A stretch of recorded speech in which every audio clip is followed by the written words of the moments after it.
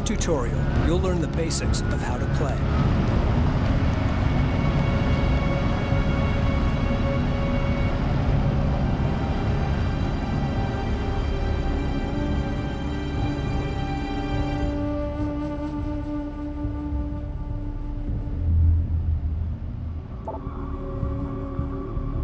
Objectives are displayed on the left.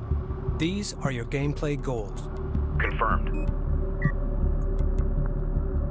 Move selected units by clicking the right mouse button on a position. Strike responding. Push up to that point. Strike craft ready.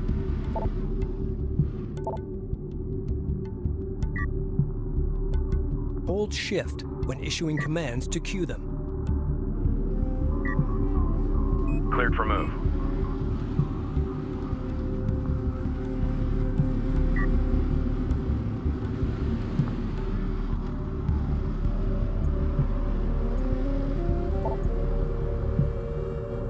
Responded. Next, you'll learn how to control the game camera. Scroll the mouse wheel to zoom in and out. Hold the right mouse button and move the mouse to rotate and pitch the camera. Try this now. Press backspace to reset the camera to its default orientation. Panning the camera is just as easy.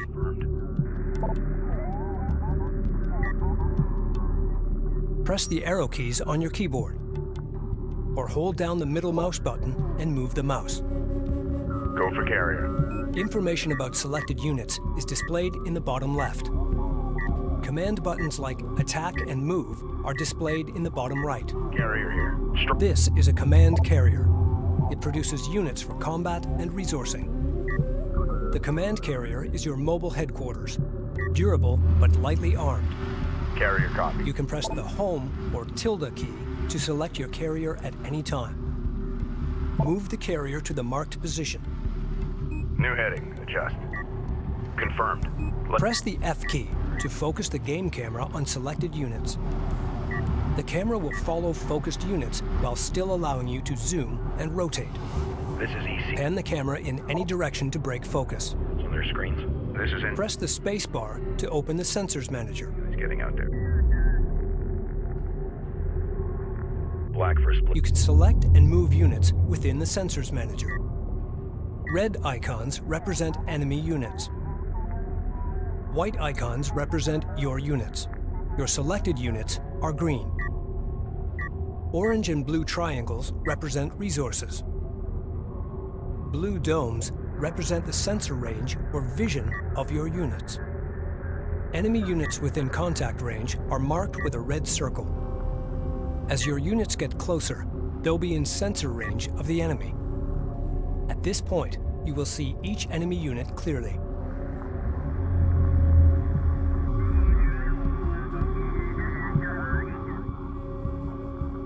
When issuing an attack move command, you'll see a red line drawn between the selected unit and the mouse cursor.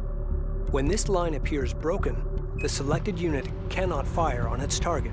This indicates that high terrain or an obstacle is blocking the unit's line of fire. You will therefore have to move units around the obstacle or onto high ground in order to achieve a clear line of fire.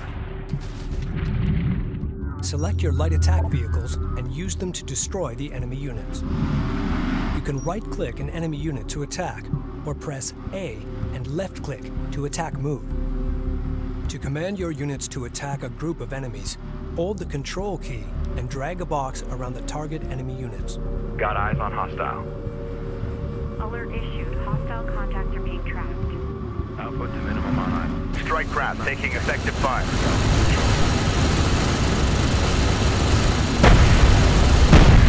Hostile strike craft down.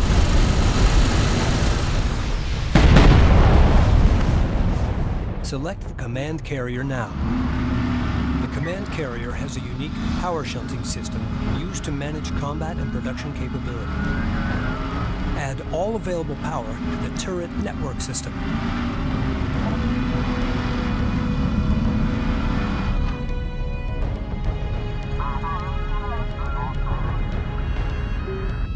Weapon systems online. Enemy contacts on the board.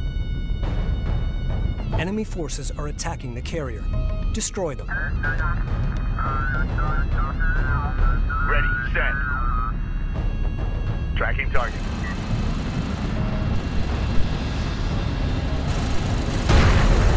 Weapon systems offline. Alert, LAV. With the right power distribution, the command carrier can hold its own in combat. Be advised, carrier repair system. Selecting a unit and pressing the Move or Attack Move command button displays the terrain overlay. While the terrain overlay is active, some terrain is color shaded to display its relative height. The three colors of the terrain overlay represent high ground, low ground, and neutral ground. When a unit takes position on the high ground, it deals extra damage when attacking units on lower terrain. The enemy have deployed armored units. You'll have to find another way to defeat this enemy force. Railguns are most effective when firing from long range. However, they can be easily overwhelmed by short-range strike craft, like light attack vehicles. It's All designated. Mark bearing. Go for ranged. Control Group 1 designated. Control Group 2 designated. Assign a control group by holding the control key and pressing a number key. Ready. Select the units in a control group by pressing the corresponding number key.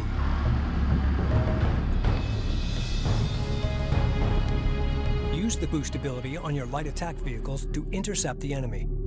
Tracking. Select the light attack vehicles and left-click the boost ability button, then issue a move command. Copy. Target set.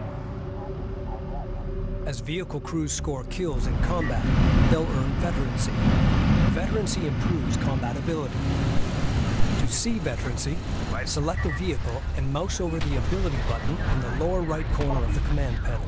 Craft destroyed. Veteran units also have a veterancy badge visible on their health bar in the main game viewport. Prepare and preserve veteran units. When your forces are outnumbered, veteran troops can turn the tide of battle. Reading. Strike craft destroyed. Move confirmed. Link up with that railgun. Escort formation. Green line confirmed.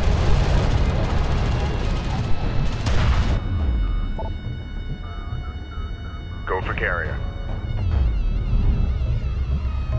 Systems online. Hostile armor incoming. Target set.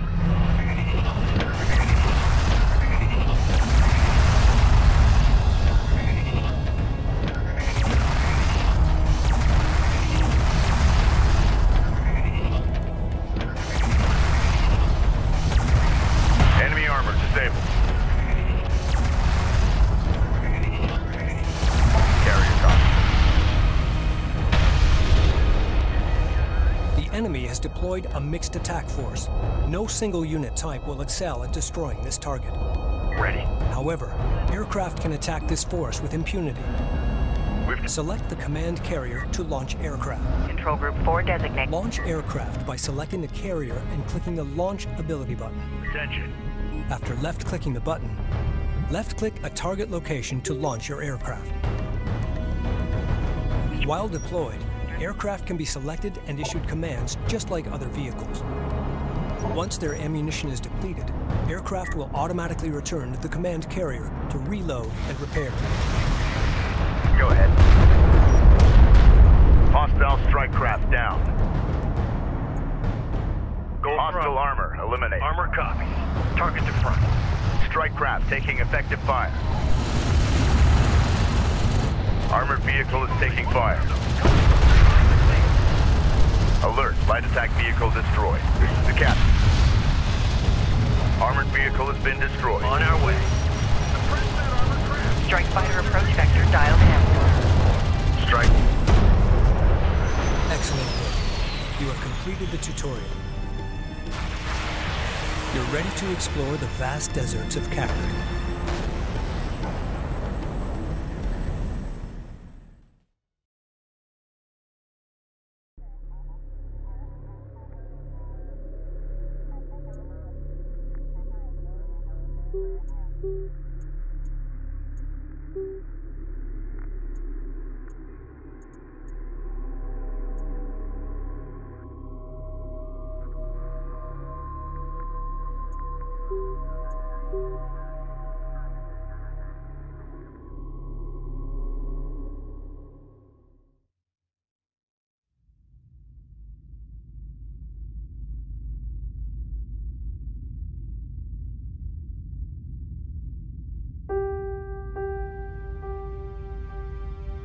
Our planet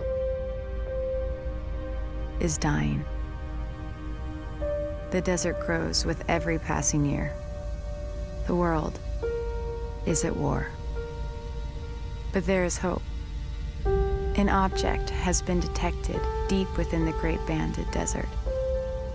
It has been called the Jiraki object, the primary anomaly. We believe it may hold the key to our salvation. An expedition to retrieve it is being prepared.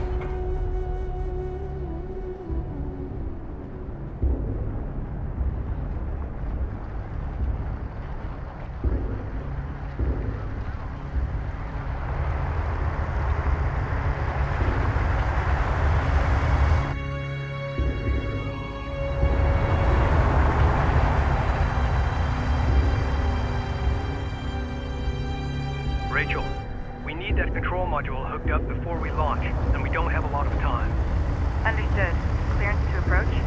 You're clear. Gate 5.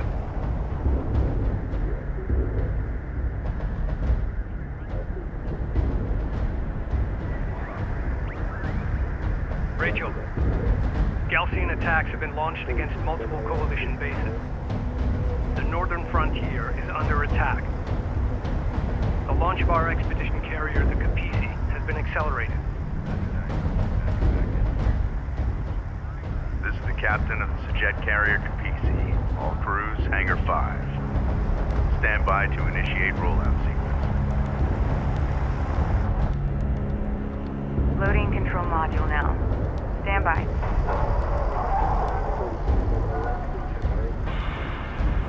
Engage main drive.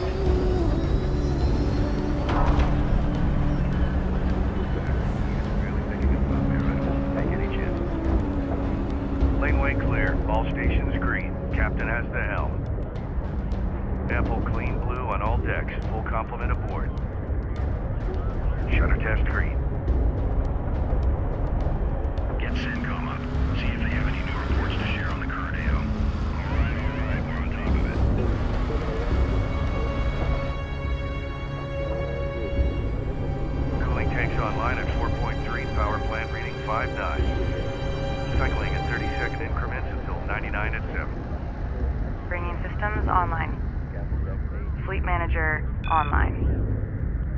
Control system online.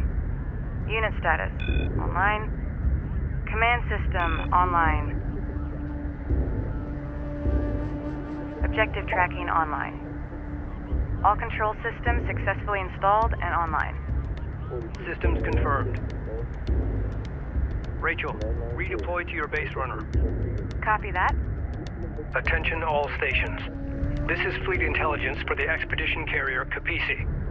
I will be issuing all mission objectives through this channel. Before departure, we need to run essential tests on our key capabilities. Vehicle production, resource salvaging, and combat operations. Time is of the essence, so let's run through these quickly. Fleet operations, is your channel clear? Affirmative. I will be providing all non-critical updates on unit production, research, resource salvaging, and all carrier systems through this channel. Copy that. Stand by to initiate production test. Go for carrier. First, deploy a salvager from the command carrier Kapisi.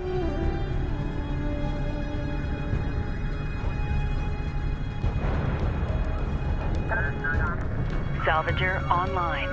Stand by to commence resource test. Order the salvager to gather nearby resources located here. Fine. Proceed to site.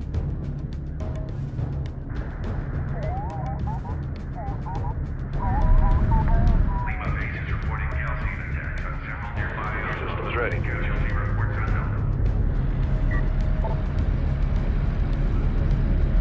Rachel, the Kapisi support cruiser has suffered a mechanical failure and requires immediate repairs before departure. Reference your scan reports for density variations. Oh, Use your base runner to repair the support cruiser located here. That unit is down. Get it back up and running. Expedition carriers Fishguy and Avalon have been destroyed. Initiating repairs.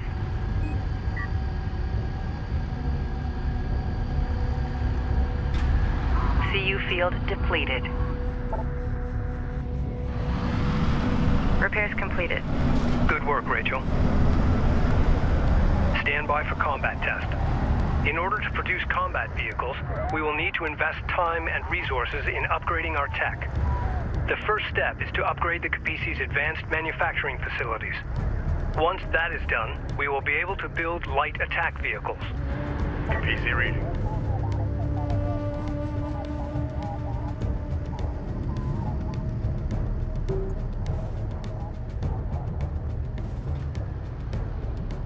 Research completed. Light attack vehicle fabrication now online. Carrier copies. Produce three light attack vehicles from the Kapisi.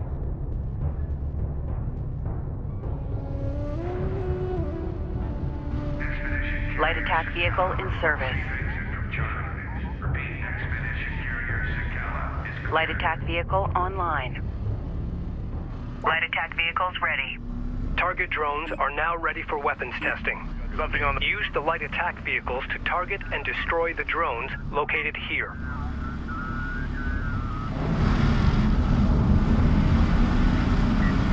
Ready.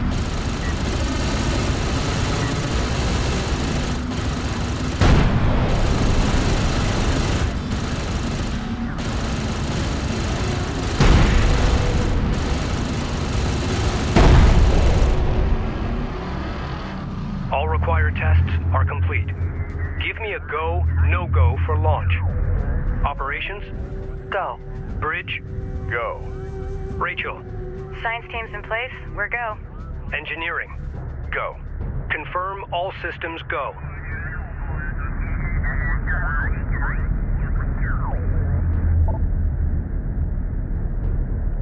Sajet Carrier Kapisi, we are go for launch. Launch command confirmed. Prepare to open outer door. Fire all charges. Disengage launch.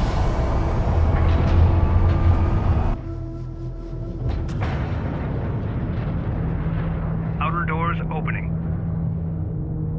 Mass ratio in line. Tracking solid.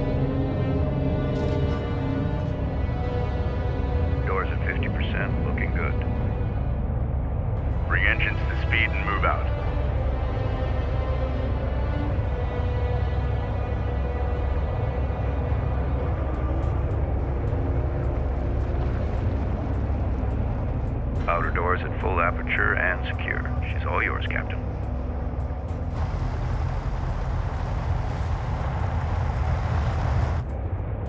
All stations, this is your captain. Today we embark on a historic mission to find and retrieve the Taraki object.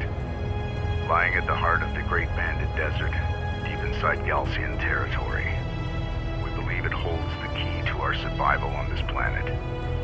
The journey will be perilous, but if successful, we will change the course of history forever and secure our future for generations to come.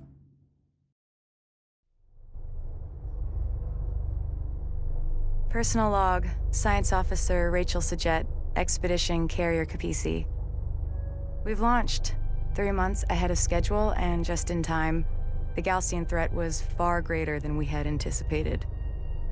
As the lead scientist on this expedition, I'm more convinced than ever that my brother was right.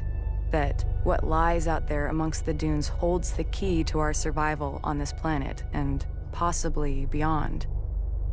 We have no choice now but to believe.